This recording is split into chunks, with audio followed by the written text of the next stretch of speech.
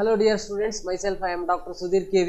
Today I will be explaining you about the methods of study in child development. You know what is child development?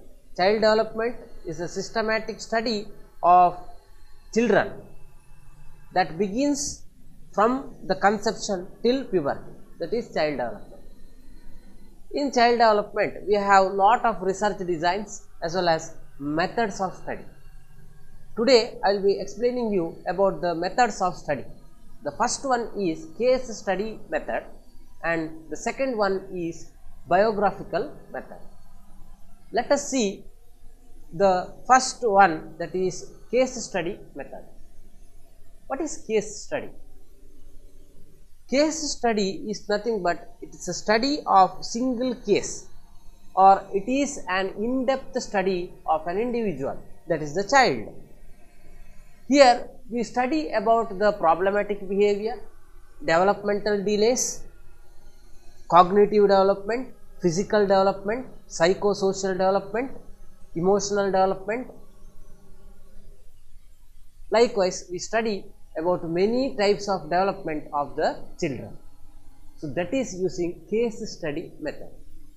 Then who takes the case study? So, case study is a systematic study of studying a single case. It is also called as case history method where we are studying the past of the individual. That is why we call it as case history method also. So, clinicians do this work in the clinical setup, clinical psychologists or the psychologists or the social workers, they take the detailed history of the developmental milestones, various streams of development and the information about the psychological functioning of the child by the collaterals or from the collaterals. Who are collaterals? Collaterals are nothing but they are the parents, teachers, siblings, neighbors, grandparents, etc.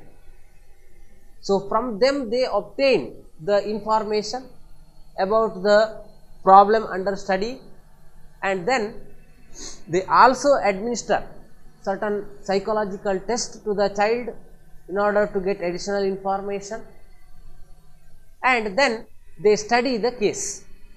Moreover, in this method they also collect the information personally that is through clinical interview with the child.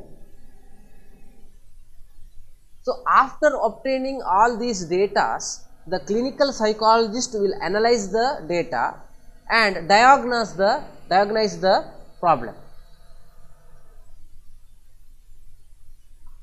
So, here when the problem is diagnosed the therapist's work starts. Here the clinical psychologist will design the therapeutic procedure based on the case history. That is why case history is very very important in, chi in child development. There are some merits and demerits of this case study method. Let us see what are the merits. See, in case history method, we can get the past information that is one merit which is not possible to obtain by any other single individual test. So, we get the past history of the individual and we gather lot of information about the subject from the collateral. So, that gives reliable information, standard information. That is why the case will be dealt properly and solution is possible. In case history method, we use standardized tests, interviews and all. So, it is one of the standard method also. And we can solve the problem based on case history which is taken. So, all these are the merits of case history or case study method. Then what are the demerits? If you are discussing the demerits of uh, case history method or case study method, demerits are few like merits. So, what are all the demerits? It is a time consuming method, it is an expensive method because clinical psychologist is required to take the case history, to administer the test, to diagnose the problem and all. That is why it is a costly method and a single case history in the clinical case or a single case history in, with regard to a particular child may take 2 hours. That is why it is time consuming. And another one is case history method is subjective, it cannot be generalized. So, you are studying a single subject, you cannot generalize the result which is obtained from case history to any other cases, it is a single case, you cannot compare, generalization is difficult. And another one is chances of bias is there. Bias refers to the commissions or omissions done by the collaterals while giving the information. When explaining about their children or child, there are chances that the parents may omit or hide certain informations and they may not recall certain informations. So, because of this reason the information obtained may not be standard or may be biased that is the another demerit. So, all these are the demerits of case history method. Next going to the biographical method and its merits and demerits. Second method is biographical method. What do you mean by biographical method? Biographical method is a procedure where the biography is written about the child's developments and its problem behaviors or abnormalities by the parents by observing.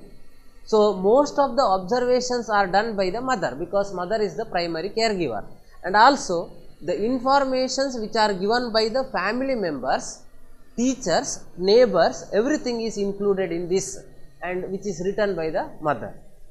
So, this comprises a good information about the step by step or gradual development of the child or abnormality of the child. So, that is why biographical method is also one of the important method.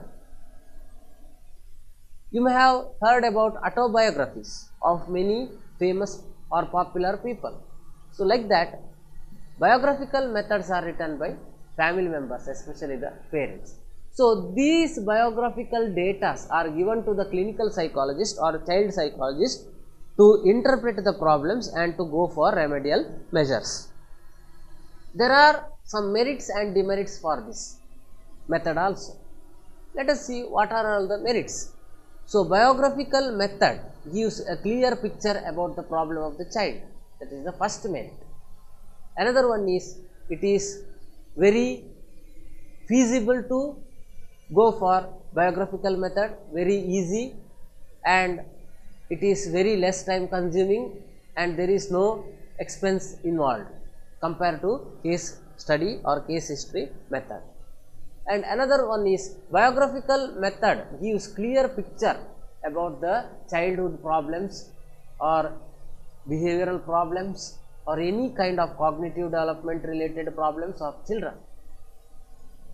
So, these are the some of the merits of biographical method. Next about the demerits of biographical method.